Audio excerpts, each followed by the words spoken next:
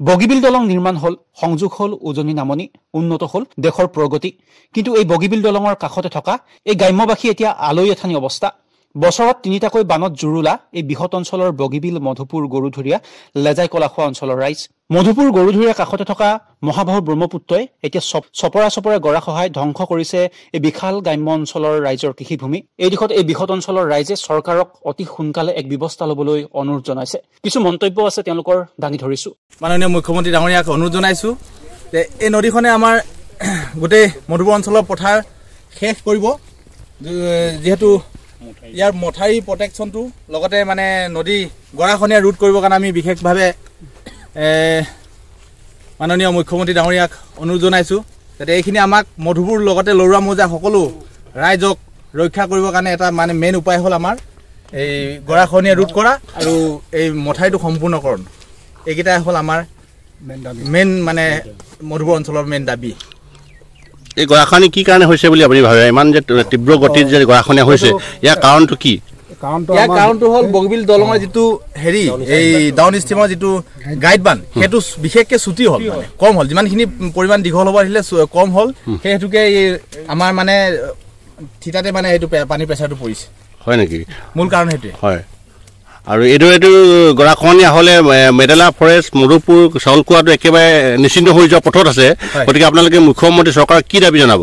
মুখ্যমন্ত্ৰী মানে মাননীয় মুখ্যমন্ত্ৰী বিজেপি চৰকাৰ আমি দাবী জনাইছো যে যে এই যি- যিহেতু জাতি মাটি জাতি মাটি ৰক্ষাৰ কাৰণে যিটো আমাৰ গৰাখনে ৰোধ কৰিবলৈ যিটো যিখিনি মানে প্ৰটেকশ্যন লাগে সেই প্ৰটেকশ্যনখিনি যাতে মুখ্যমন্ত্ৰী ডাঙৰীয়া আমাক অতি শীঘ্ৰে ইয়াৰ বিকল্প ব্যৱস্থা মানে হেৰি ডিপাৰ্টমেণ্টৰ যোগেদি আমাক যদি কৰি দিয়ে আমি নথৈ সুখী হ'ম এয়া আমি অনুৰোধ জনাইছোঁ। অৱশ্যে এই দিশত পৰৱৰ্তী সময়ছোৱাত ৰাজ্য শাসিত চৰকাৰখনে কেনে ব্যৱস্থা লৈ বিশাল মধুপুৰ গৰুধীয়া অঞ্চলক ৰাইজক সকাহ প্ৰদান কৰে ই লক্ষণীয় হৈ ৰ'ব। আমাৰ বিভাগৰ বিষয়া আপুনি কেনেধৰণে এইটো এটা ডি পি আৰ প্ৰস্তুত কৰিবলৈ এ, বুলি ভাবিছে? আমি এটা ছাৰ্ভে কৰি ল'ম কালি। কালি ছাৰ্ভে কৰি তাৰপিছত এষ্টিমেট এটা বনাই ল'ম আমি। কি হেডত হ'ব এইটো আমি ছাৰৰ লগত আলোচনা কৰি কিনে কোনটো হেডত দিব লাগে এষ্টিমেট এটা প্ৰডিউচ কৰি নিদি যিমান যিমান পাৰে সোনকালে আমি দিম। আৰু আপুনি কিবা ক'ব নেকি? একচুৱেলি এইটো গৰাখহনীয়াটো এতিয়াই নহয়। আপোনাৰ ন দহৰ পৰাই গৰাখহনীয়া হৈ আছে লাহে লাহে। এই তেতিয়া চৰকাৰটো মই কৈছিলোঁ যে অলপ মানে প্ৰতিশোধ ল'ব লাগে। এই এতিয়া মই দেখিছোঁ এইটো কমচে কম এক কিলোমিটাৰ ভিতৰত সোমাই আহিছে হয় হয়। তাৰপিছত আমি এতিয়া প্ৰায় ছিক্সটিন ছেভেণ্টিন ষোল্ল ওঠৰ চনত আমি এটা জি এফ কাম কৰিছিলোঁ। বৰ্তমান সেই টেকেৰাপুৰি নহয় জানো দলনি গাঁৱৰ তাত। তাতে এতিয়া এইটো প্ৰটেকশ্যনটো আমাৰ অলপ ছাকচেছফুল হৈছে। আৰু আপোনাৰ এইটো কি কয় কি সাহিত্য পৰিসৰৰ পৰা? আমাৰ পাৰ্কোপাইন কেইটামান মাৰিছিলোঁ হেমেচিৰ পৰা। এইটো কাম অলপ ছাকচেছফুল হৈছে। মুখ্যমন্ত্ৰী জনোৱাৰ লগে লগে মুখ্যমন্ত্ৰী কিন্তু ইয়াৰ কাৰণে লগে লগে জিলা প্ৰশাসনক এইটো পঠিয়াইছে আৰু লগে লগে আপোনালোকে আহিছে আজি। আমি ভাবিছোঁ এটা সুন্দৰ হ'ব গতিকে মুখ্যমন্ত্ৰী ডাঙৰীয়াই আপুনি কিবা ক'ব নেকি?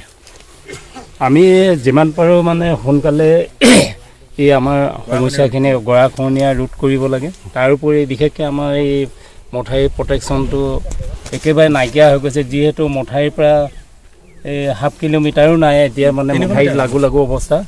গতিকে এইখিনি যদি আমি আজি গোটেই ৰাইজে গোট খাইছোঁ দাবী জনাইছোঁ যে অতি শীঘ্ৰে কামবিলাক হ'ব লাগে আৰু এই ক্ষেত্ৰত মানে মুখ্যমন্ত্ৰীয়ে তৎকালীনে? যিকোনো এটা ব্যৱস্থা ল'ব লাগে। News desk report R V TV